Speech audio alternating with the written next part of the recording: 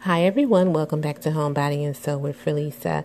This is one of many of my spring tablescapes that I'm going to be sharing with you guys.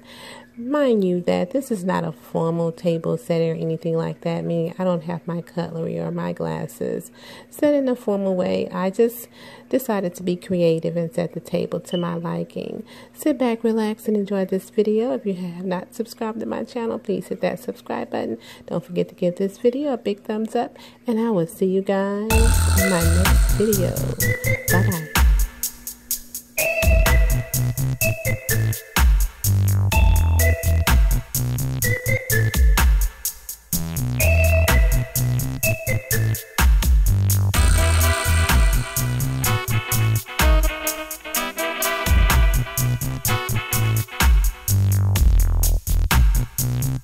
Thank